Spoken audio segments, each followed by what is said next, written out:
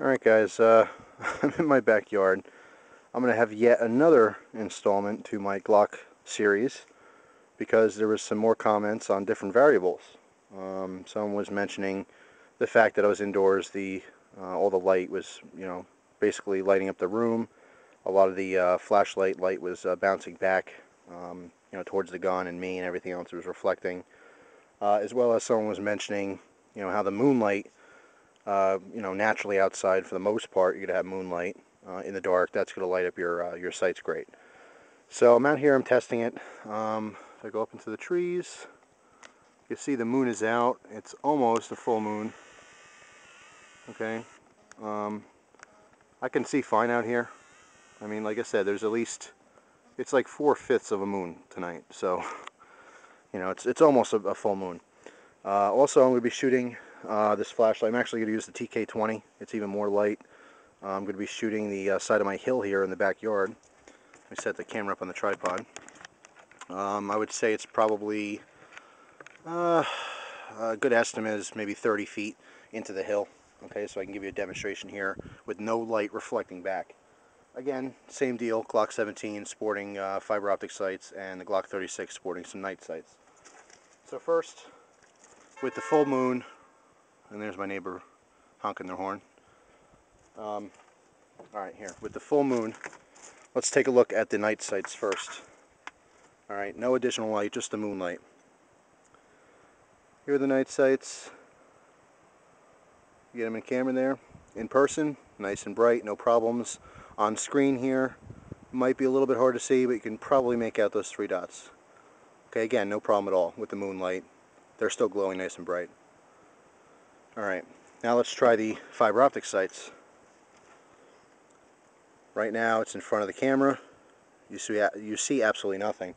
And let me uh, use the flashlight here just to give you, just to show you that they are in fact in front of the camera here. Alright, and then I'm going to shut the light off. And nothing. In person, I don't see any color at all. So I have no visible sights right now, even with, you know, almost a full moon.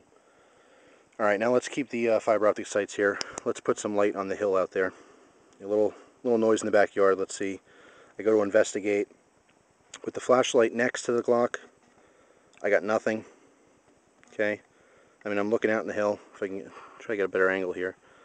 Um, if it's aside the light or underneath it, I get nothing. Same deal, just a silhouette of those sights. If I get behind the light, someone had uh, suggested one grip, which is almost like you're putting your um, uh, your fist, the back of your fist by your face so you can see in front of you but you still illuminate your sights fine. And in this case, as you can see, it does work.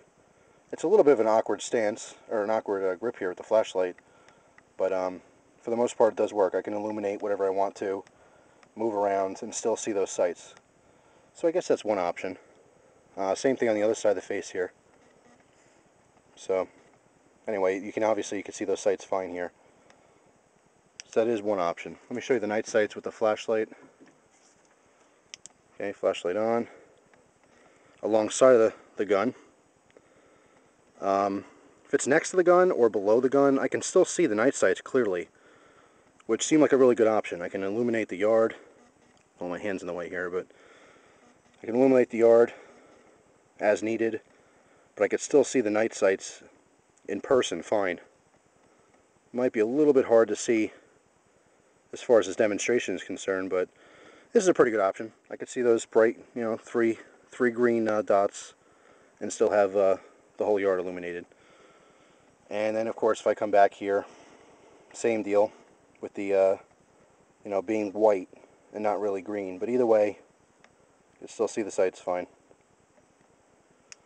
So that's it. Another installment here with the, of course, the flashlight in the yard with no light reflecting back and also trying out with the uh, the moonlight here. Um, I'm trying to think of what other comments I had. People are talking about, you know, for as far as, uh, you know, again, debate back and forth whether you should use a flashlight or not in the house for home defense. Obviously, someone mentioned, you know, you don't want to accidentally shoot one of your family members. Of course, you want to, you know, throw some, some light on them to see who, who's there. You know, here's how I look at it, and I think I wrote this in a comment, but I'll, I'll mention it anyway. If you hear a noise in the middle of the night, and you go investigating with your gun, whether you have a flashlight or not, obviously do not shoot anyone unless you are 100% positive it's someone who does not belong in the house. I would make a noise first. If, like I said, if, if, there's, if there's just a body and you can't tell if it's a family member or not, and they start running, whether it's towards you or away from you, there's probably a good chance that it's not a family member. Um, you know, but still, there's there's hundreds of people who die every year because you know maybe a wife gets up in the middle of the night to uh, get a drink of water or go to the bathroom. The husband hears a noise, grabs his gun, goes to investigate, sees a body. You know, and of course you're half asleep, your eyes are fuzzy. You know, there's definitely been documented cases where your husbands have shot their wives and vice versa, just because they wanted a little midnight snack or something. So it's obviously a very serious situation. Uh, the, the best advice I can give, again, is be 100% sure that that person does not belong in your house and it is in fact a threat. At that point, pull the trigger, do your best job to, you know, to cancel out that threat. But, you know, please, you know, it's a serious thing. And I, you know, I just wanted to comment on that. But, um, you know, like I said, I mean, I still prefer no flashlight. Again, various reasons, but I wouldn't just go shooting, you know, shadows in my house. That's definitely not the case. But anyway, there you go.